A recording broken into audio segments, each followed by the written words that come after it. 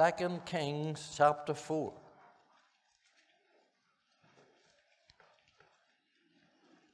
And we're reading the first seven verses. And keep your Bible open. And keep your ears open.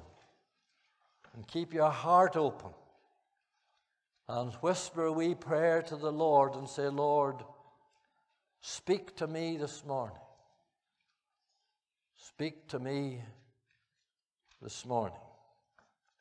2 Kings chapter 4 and the verse 1.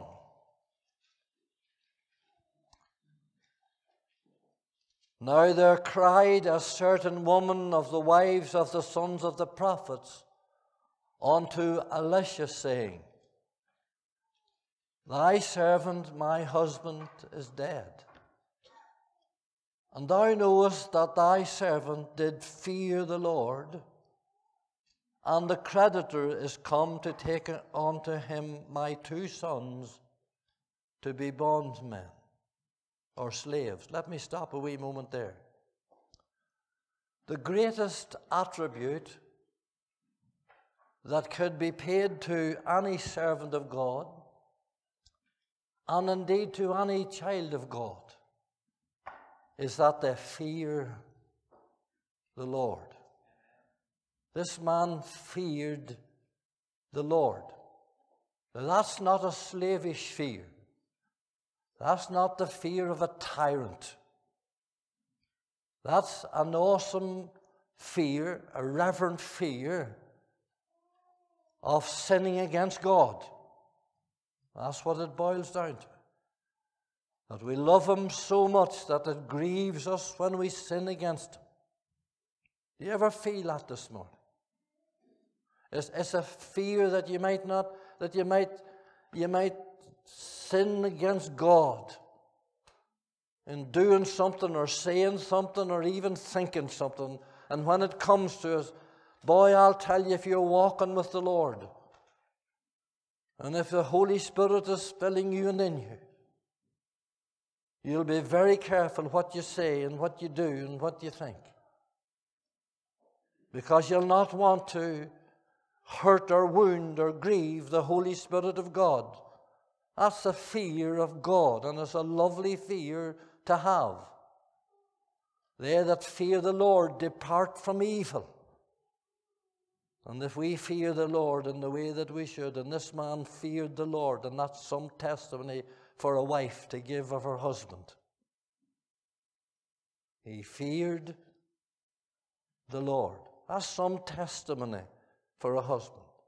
That's some testimony for a minister, pastor, elder, deacon, Sunday school teacher. They feared the Lord. And that one phrase regarding this man tells me nearly everything as a father in this home with two boys. Verse 5, verse 2. And Elisha said unto her, What shall I do for thee? Tell me, what hast thou in the house? And she said, Thine handmaid hath not anything in the house save a pot of oil. And that was a wee pot, probably the size of an ink pot. And it wouldn't have been oil for cooking, it would have been anointing oil. A pot of oil.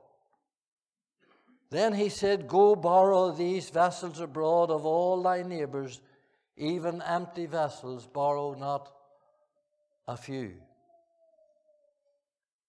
And when thou art come in, thou shalt shut the door upon thee and upon thy sons, and shall pour out into all those vessels, and thou shalt set aside that which is full.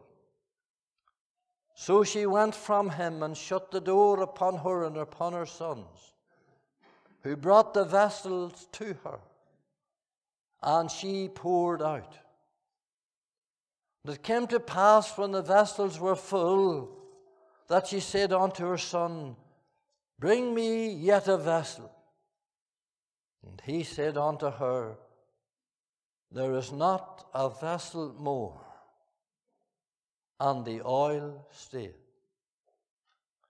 Then she came and told the man of God, And he said, Go sell the oil and pay thy debt, and live thou and thy children of the rest.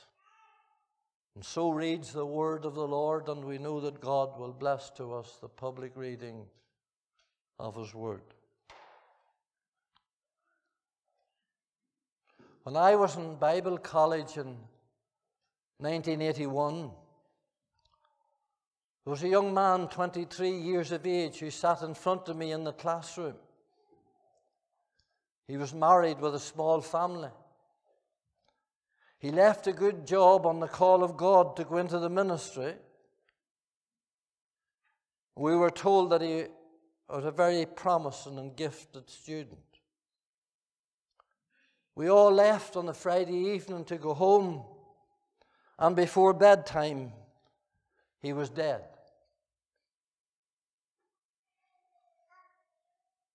Suddenly, God called him home. Why? I don't know. How would you know? But I must admit, when I stood around the, the open grave in Ballyclare Baptist Church at the funeral and saw his two children weeping and his wife sobbing,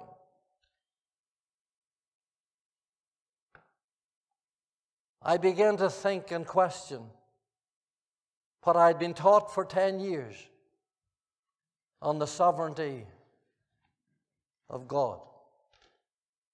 How can this be? You see, I had just left a job where this was almost a daily, if not a weekly occurrence. Young men were taken from our side and from their parents and from their children. And I expected it in West Belfast or the West Bank of the Foyle or in Lurgan or South Armagh. It was, as they say, the deal, the part of the job. But here, in a Bible college, on a Bible campus, with a young life given over to serve the Lord with a family dependent on Him, I tossed with it. And then when I went to the scriptures, I dis- discovered that the, many young men died in the scriptures. I thought of Abel and Absalom, Nadab and Abihu, Abner and Uzzah and Stephen, all taken in their youth. Remember, you young people here today, you don't have to be old to die. This man that we're after, family that we're after reading about, this man had two young boys, probably heading into their teens. He was training for the ministry in the school of the prophets. He was under the scholarship of Elisha, the great prophet of God. And his wife said he loved, he feared the Lord. Now, before we develop this this morning, I want to mention something that needs to be mentioned in these days which we live. I want to give you a reason. I'm going to give you a reason why the sovereignty of God and the mystery of God in premature death takes place. Now, having the answers, I don't know. There's a thousand reasons God knows why He cuts a young life off. But I know this that the Lord Jesus Christ tells us in Luke 13. Now, hear me this morning. Certain people came to the Lord Jesus in Luke 13 distressed with the shocking news that the Galilean Jews were honoring God and worshiping God and offering sacrifices in the temple, and Pilate sent an assassination squad and he killed every one of them, and their blood mingled with the sacrifices that they were offering up to God. That come to the Lord Jesus. And they said, Is these men sinners that this has happened to them? It didn't happen to them because they were sinners, it happened because of sin. But the Lord never turned it. Here's what the Lord said And this is one of the reasons, one of the reasons, my friend. Here's what the Lord said. He looked them straight in the face. He says, Except ye repent, ye shall all likewise perish. So he turned it round to repentance. To repentance. And when you hear of a massacre by the IRA or ISA or anybody else, 9 11 or Omagh or Enniskillen or anything else, you remember that God calls you to repentance. And when you think of young lives being taken and people being taken out into eternity and you're not saved, God in His love and in His mercy saying to you, you look at that, you think of that. If that were you, if that were you this morning, for except ye repent, you'll perish. And the Lord used the word perish. It's not me that's using. He used the word, word perish. You see, the goodness of God leadeth to repentance, but the wrath of man can lead to repentance. And 30 years of trouble and bloodshed in this land of ours, many individuals came to repentance through it. But generally speaking, we never, the, the nation, the province never repented. We're in the trouble that we're in today, but they'll maybe repent before this whole thing's over. Let me tell you, it's not going to get any better soon. There's not a sign of repentance. Oh, yes. In the same verses. Now, listen, in the same verses, on the other side of the coin, Jesus, Jesus said something else. They came to him again at the same time, and they said, the, the Tower of Siloam has fell, and 18 people have been killed in an accident. Again, he didn't, he didn't say that it was because the foundations were bad. He didn't say it was because the architectural work, work was bad. He didn't say it was because of faulty scaffolding. He said the very same thing, except ye repent, you'll likewise perish. And when a child is taken from the mother's arms, or a man falls off a roof, or you hear of a car accident, or a plane down or a train down, remember it's the mercy and the love and the grace of God in that, in that purpose, whatever else is behind, in that saying to you to repent, turn from your sins, or you'll perish. Twice he said that, in almost the same breath, and that's the Lord speaking. You see, it is appointed unto man once to die, but after this, the judge. Let me ask you the question, James, before we go on with this this morning. What is your life? Here's a young man, and he died. At least he died trying to serve the Lord. Wouldn't, wouldn't you be better to die trying to serve the Lord than serving something else? What is your life? Now, it doesn't say what is life because men are trying to work that out from time immemorial. If I were to ask you this morning, what is life, you'd all give me different answers. What is your life? What is your life this morning? Is it money, houses, cars, sport, sex? What is your life this morning? You, you let that individually come into you, the, the Word of God. What is your life this morning? And Robbie Burns tells us, oh, the Scottish poet said, like a snowflake on the river, here today and gone forever. Only one life will soon be passed. Alan Redpath was a, an architect and he had his own big firm before God dealt with him and called him into the ministry.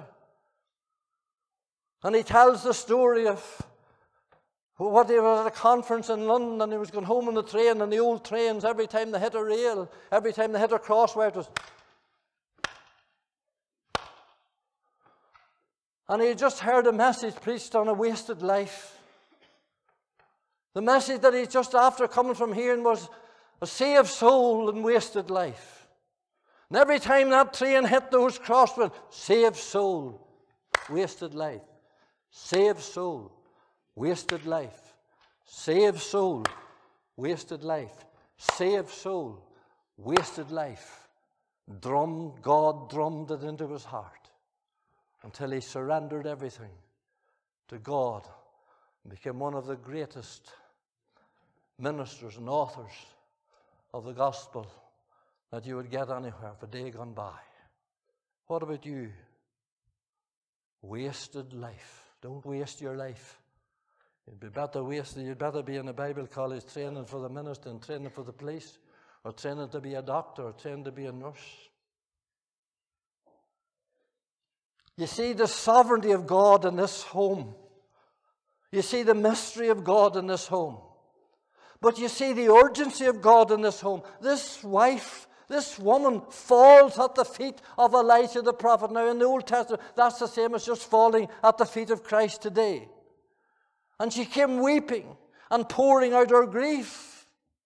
That word cry, she cried, is one of the strongest words that you'll get. You see, it was bad enough she'd lost her husband. And now she's going to lose her two boys because the creditors are at the door. And we believe here that they're at the very door. The slave masters are here to whip, to whip them and to scourge them in, in, into bondage, where they'll stay for seven years until the year of Jubilee.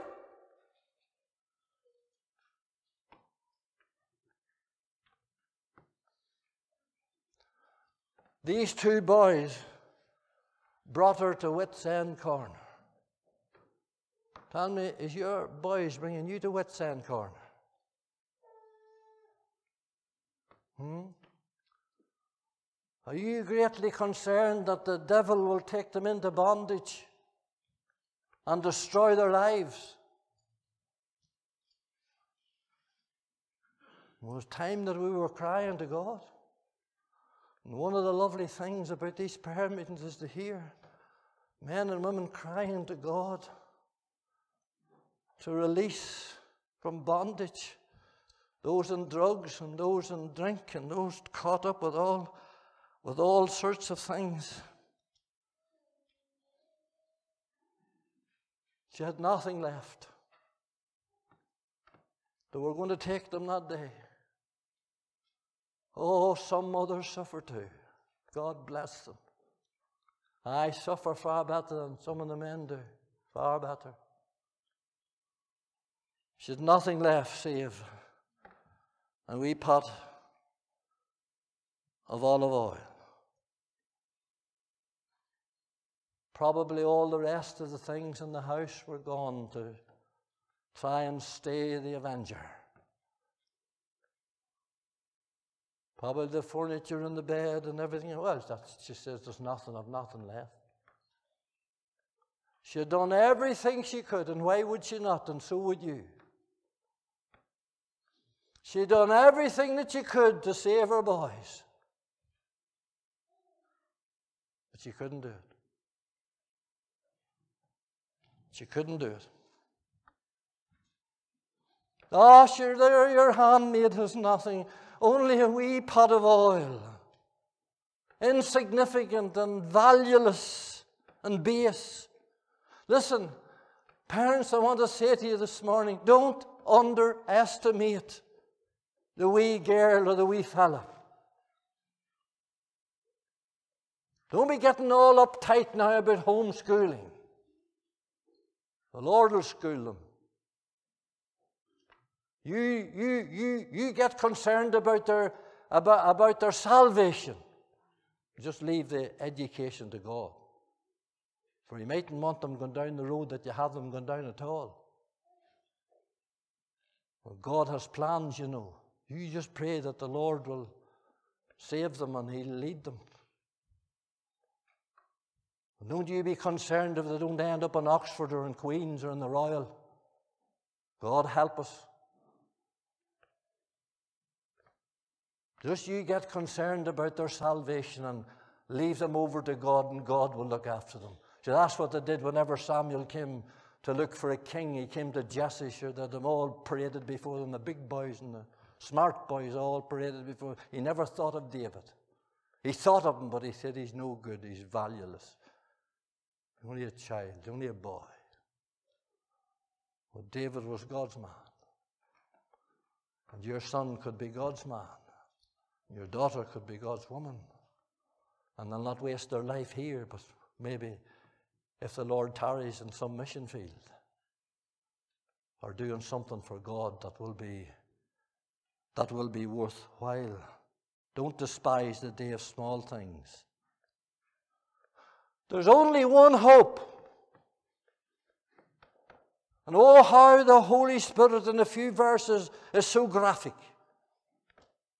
There's only one hope to rescue these boys from bondage and from the snare of the devil. But that's what it is.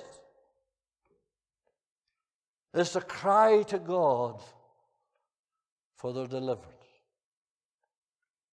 And if I come in personal to this church this morning, cry to God like the way Day and Jennifer and the people of this church cried night after night, night after night in that room for Stephen.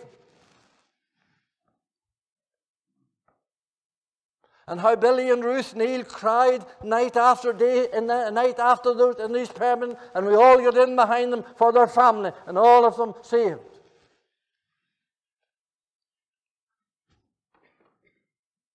And there's many more inside and outside this church that have come to. You cannot have prayer meetings like we are having without God breaking through.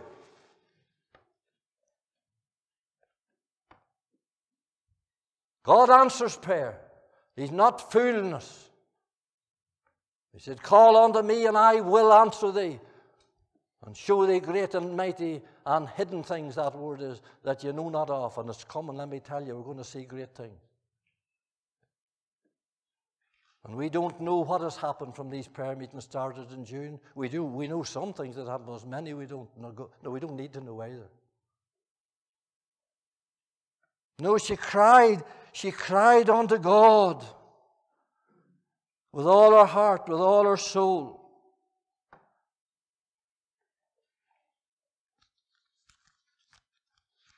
Oh, may God help us to see there's no other hope. Remember Judah when he came, uh, one of the twelve, one of the sons of, of Abram, when he came, remember when he came back, he, he came back to Jacob or he said to the old Pharaoh, it was, he said to the old Pharaoh, do you remember? When, when they wanted to hold Benjamin down there in Egypt and keep him back, and he, he, couldn't bring, he couldn't go back to the old father without him. Do you remember? Remember, he made that cry, How can I go up to my father if the lad be not with me? How can we go into heaven if he not with us?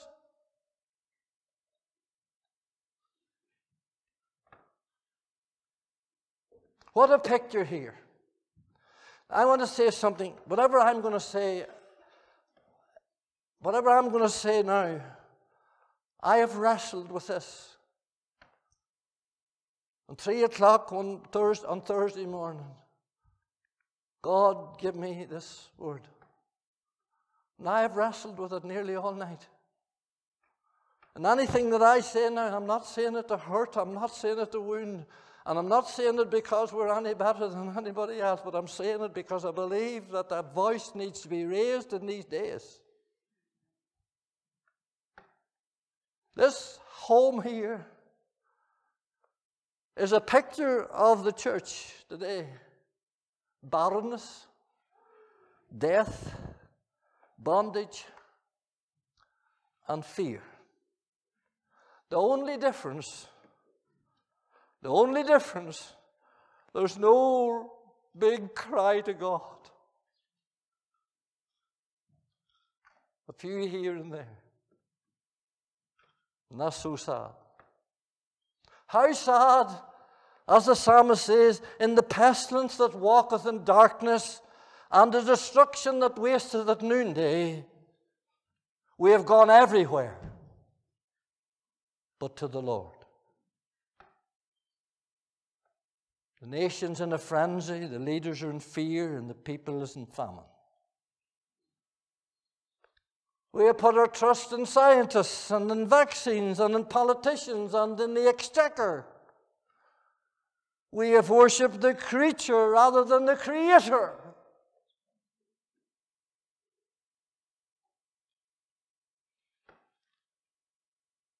Ministers and pastors and elders leaders have retreated.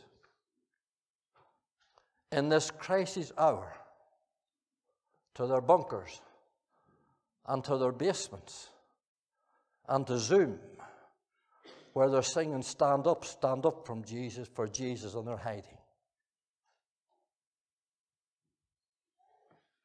They're regurgitating an old 10 minute message and if they don't it's not one of their own it's one of somebody else they're regurgitating an old 10 minute message on the Lord Shepherd to try to comfort the people and all hell breaking around us. Now, I know I'll not be popular for this. I'm not worried.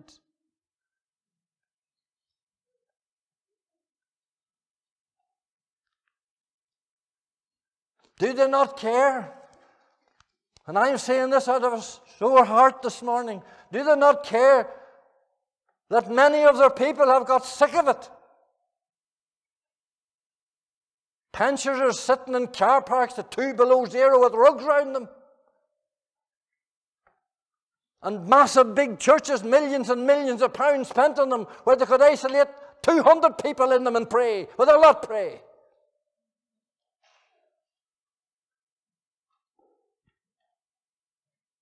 Heating with your money. The only scripture that comes to my mind and came to my mind at 4 o'clock the other morning was Matthew 24 and 24. If possible, in the last days, the devil and the enemy will deceive the very elect. And I can hear some boy go, Oh, but that's for the Jews. Everything's for the Jews that you don't like. Did you ever hear that? For, this is for the Jews. Oh, it's not for, no, it's for you, boy. You have to give an accountability. You deceive the very elect. God help us with what is wrong with our land? Do they not know that some people are traveling miles and miles to get into a service to worship God? And I can tell them that there's teenagers sitting in prayer meetings here for two and a half hours and never move. And as long as they come, we will provide for them. And I say to you this morning out there, you say what you like about me, for you're saying plenty about me. I say to you this morning, open your churches before it's too late. And don't be surprised if you don't, that they'll not come back to you.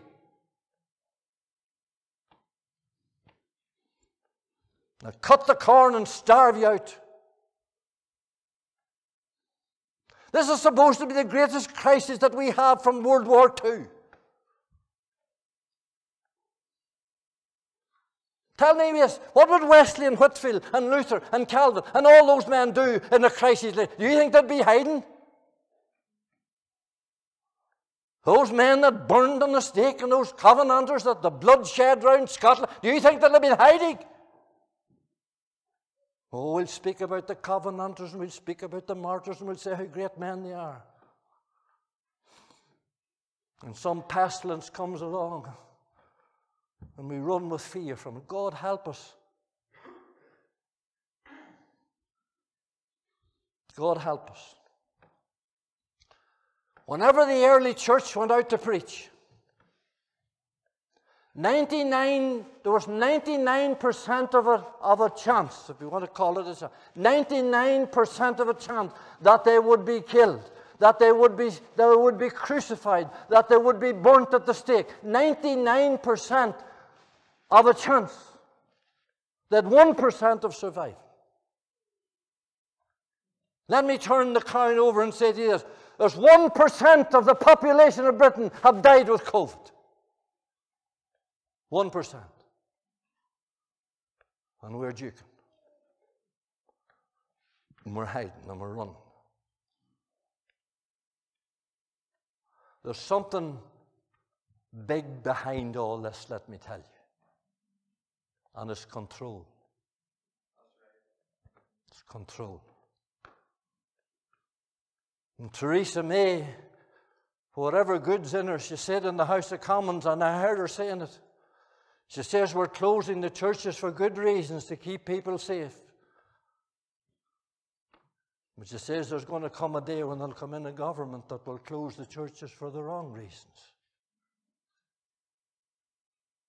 And if they get the thin end of the wedge, they will. We've had the police here four times, five times over there this morning. I told them we're getting sick of this now. We're getting sick of it.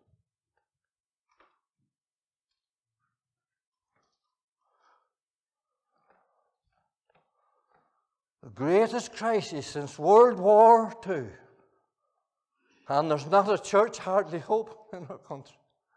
God help us.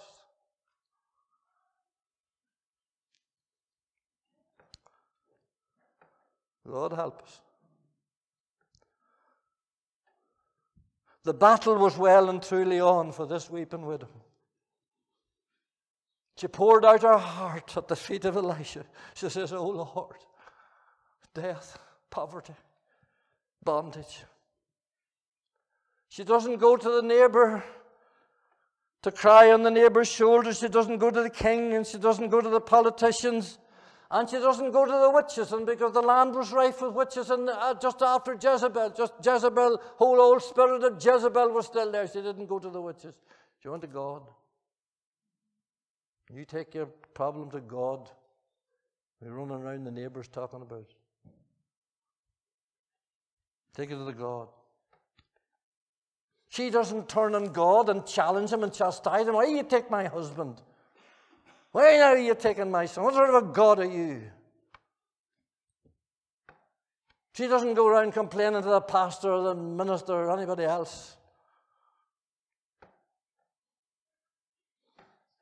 Jesus never answered her question. He asked her a question. he says, What have you in your house? Hold tight now. Let me hold that a wee minute. What is in your house? Tell me, would there be something in your house that would need to go? Hmm? Could there be something in your house that's hindering the blessing in your life and in your family? It would be good if we went round and seen whatever's in our homes and do what they did in Ephesus take them out and have a bonfire. What have you in your house that shouldn't be there? Hmm?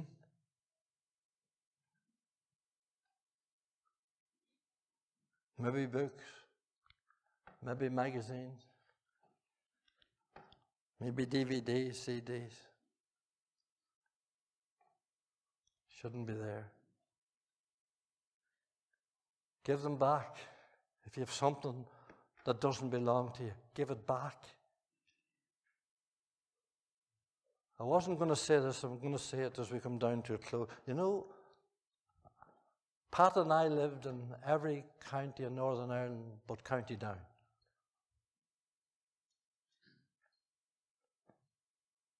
And every time we moved house in the garage, I came across three things. Three things that I stole. And I'm saved now, and 10 years saved, and God's calling me out into the work. Every time that I moved house, I came across these three things. A GT badge that came out of Kent Plastics, where I worked for a wee while, a GT pad, lovely wee badge. It sat down in the hollow of the steering wheel at an old rally car with no exhaust on it, and it sat down in, in, in the hollow of the steering wheel. It was the loveliest wee thing you ever seen. And then I had a big Jaguar badge, you know, them big, big leopard things, them big long silver things of the Jaguar, one them.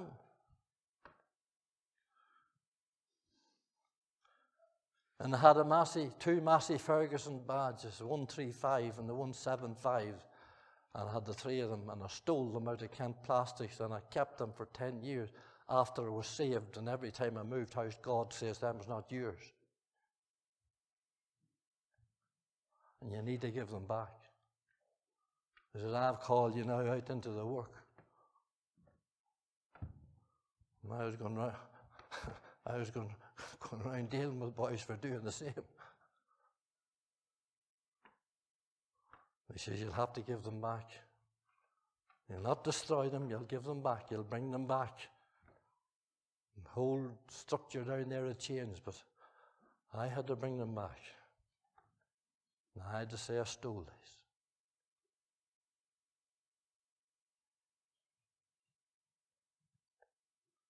Your handmaid has nothing.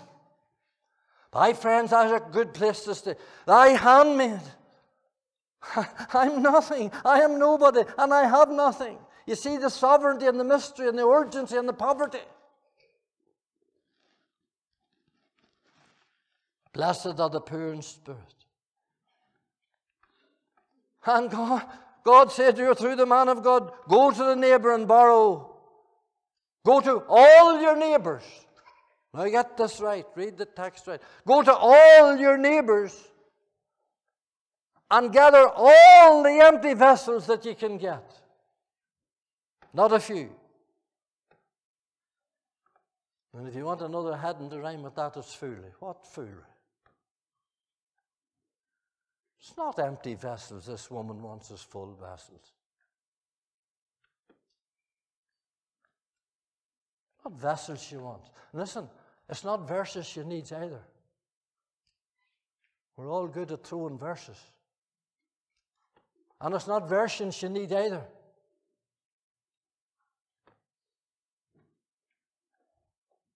She needs somebody to help her.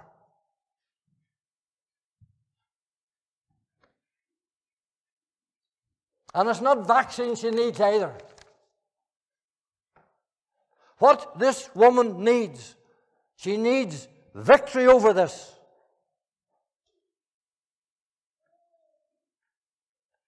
She needs victory. This is, this, this, this is the devil. This is death.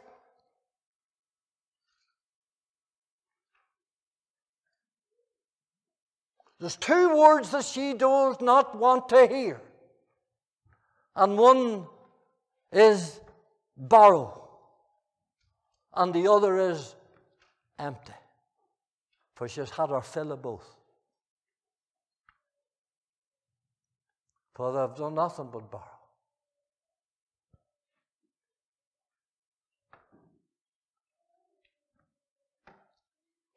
Empty. Friend, let me say this morning as I come down to a close. We need to empty ourselves of all our old stinking pride and preconceived ideas and notions that have been hammered into us from children. We need to be empty from rebellion and fear and lust and greed and cast ourselves at the feet of the mighty sovereign God who, who when we do, will come in power amongst us. It's not until we're running on empty that can we expect to be filled, nor do we want to be filled. Gather them up. Go on and gather them up and gather all you can get. Go to all the neighbours round about. Bring them in. And they gathered all the vessels whether they gathered all that they should have or not, I don't know, but they gathered all the vessels that they could and they brought them into the wee house and shut the door. And when you go into your wee house and you shut your door and you get down before God, your heavenly Father that seeth in secret will reward you open. No big glamour here, no big testimonies here, no big singing here. I declare, do you know?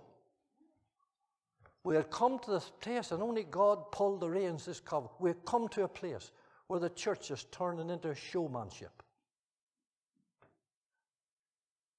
And if you can get a boy without a leg or without an eye and without an arm and you get him up, you'll fill the place on a Sunday night.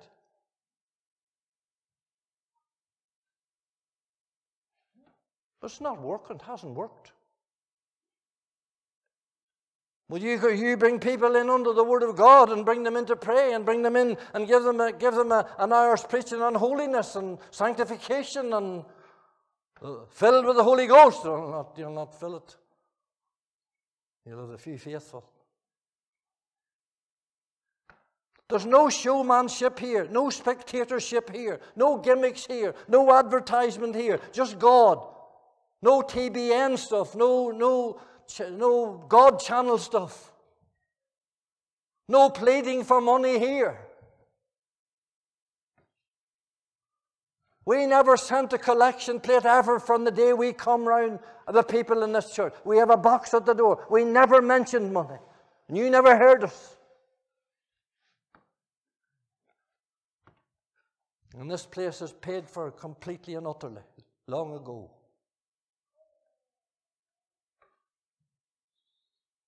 No pleading for money.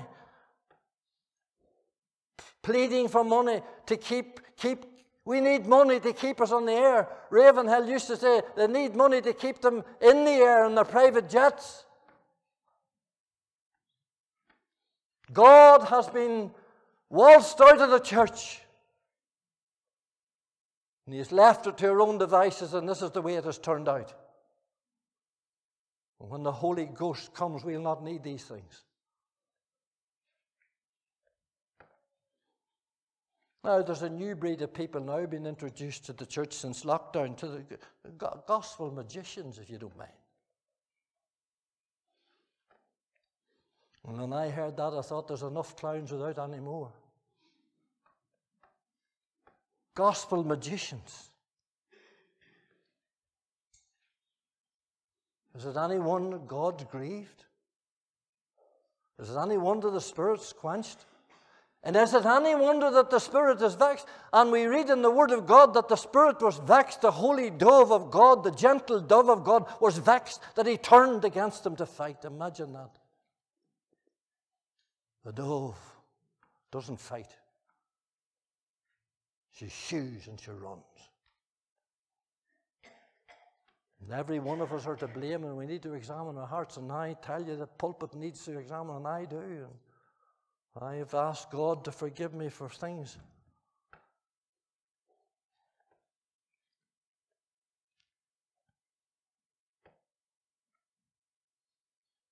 Lastly, there's the dependency by faith. She committed her need. The whole thing lock, stock, and barred. She shut the door. She brought them in. She got the wee pot. The wee pot. She lined up all the vessels. There have been all sizes, you know. God's people are all different. Been different designs on them, in different shapes. Everybody in the house wouldn't have the same thing. She lined them all up. And she got the wee pot with a wee drop of anointing oil in the bottom of it. And she began to pour. And she was, before she had the first one filled, she was dumbstruck. And then she went to the next one. Went to the next one. Nobody looking on now. No sightseers. No music.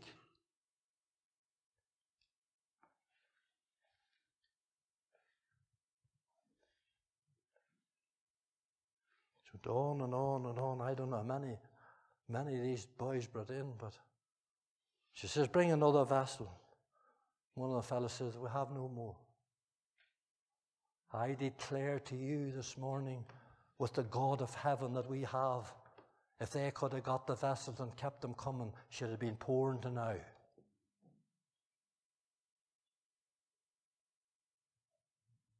There is no restriction with my God heaven opened. Should have been pouring yet. Well, the oil stayed for there's nowhere to go. And the Holy Spirit needs somewhere to go. He needs someone to live in. And if you reject him, you're going to be the worse off for it. If you reject the filling of the Holy, I'm not asking you saved, I'm asking you filled with the Holy Ghost. You can be saved without being filled with the Holy Ghost. I was 10 years. The greatest need of the hour is men and women to be filled with the Holy Ghost.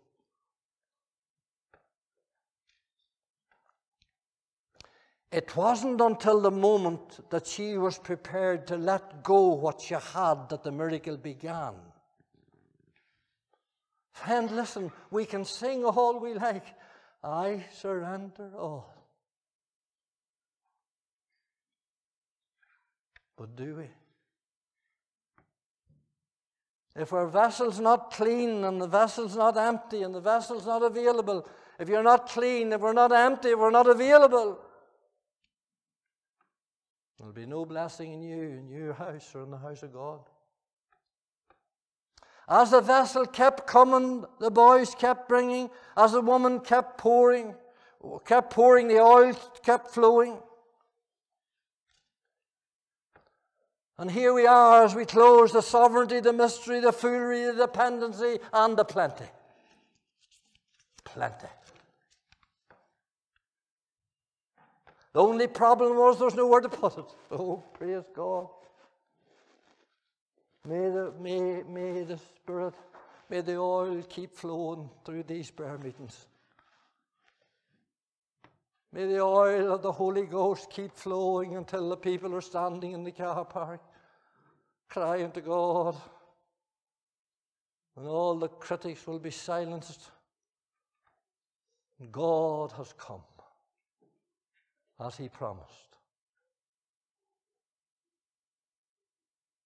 An hour or so before this, she says, I'm empty. Now she says, I've plenty. An hour or so before this, she says, I'm in poverty. Now she's in prosperity. An hour before this, or so before this, she's, I'm in bondage, and now she's in blessing. An hour before this, she was crying, and now she's laughing. Here's the point I hit as it closed.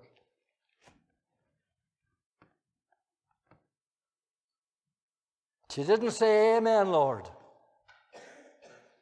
And say, Billy, this is for you here. You sell that and you, you go and buy yourself a car. Johnny, this is for you, Johnny. You go and do whatever you want now with that. That's your money. And I'll put a wee bit of this, sell it and put a wee bit buy for a nest egg. For the, these nest eggs, you see, for children are great. Satisfy the conscience, you see. We, Well, that's for the child, that's for the young, for us. Not a bit of it, some of it's for yourself. She didn't, she didn't say, and I'll keep this here, and, and I'll, I'll pay me debt with this, and then I'll, I'll, I'll get this, and I'll get the furniture back. I'll buy my suite back, and I'll get all the things back that I lost and far more. No, she didn't do that. You know what she did? She went back to the man of God. And she says, What am I going to do with this? Do you ever ask him that? Do you ever ask him what you're going to do with what's in the building society or in the stocks and shares or in your property? Do you ever ask him, Lord, if you're coming back soon and we're near the end, and what would you have me to do with this?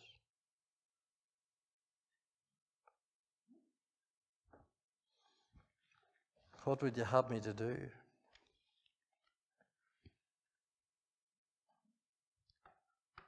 You need to go to God and ask Him now what you're going to do with it. You need to pay your debt to God as well as pay it to man.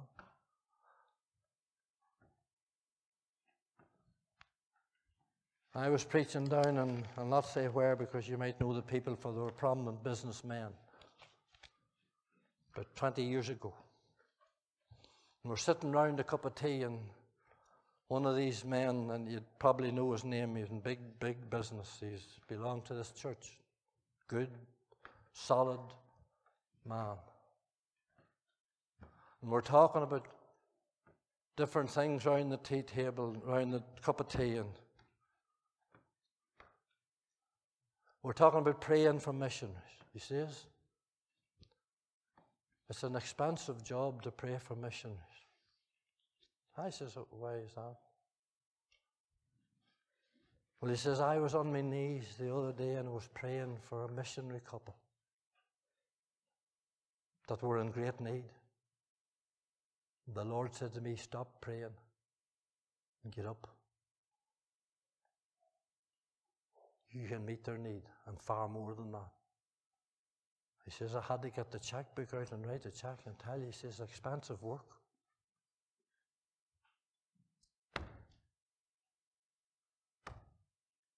Bring ye all the tithes into the storehouse and prove me now herewith, says the Lord of hosts, that I'll not pour out thy spirit upon. There'll not be room to hold it. Like the wee, pot, wee jars or the vessels in the house. May we be empty vessels and may we be filled. May God bless you and bless His word today.